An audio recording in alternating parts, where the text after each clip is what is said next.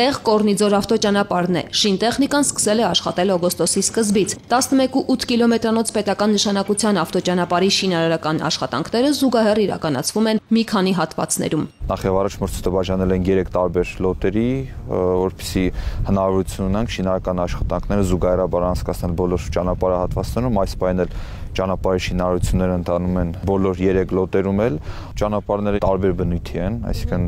վերջի հատվածում ավելի շատ կորնիզորի հատվածում աշխատանքները շատ ավելի բարդ են, բայց շինարարները զրուցել ենք, անձամբ հետևել եմ շինարական աշխատանքներին, վստահեցնում եմ, որ ամեն դեպքում այս տարի բոլոր 3 լոտերում էլ հողային աշխատանքները կավարտեն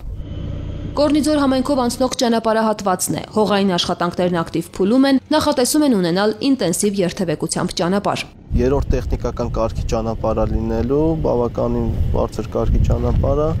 նման ինտենսիվության երթևեկության հետ հաշվարկած 7-20 երթևեկելի գոտի ունենք ասֆալտապատման մասին, իսկ ընդհանուր ճանապարհի ծածկի լայնությունը 11.8 մետր է։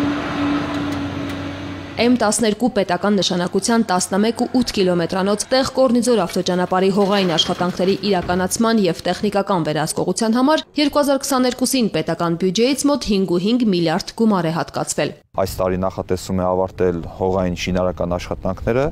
իսկ գալիք տարի 2023 թվականի գարնանը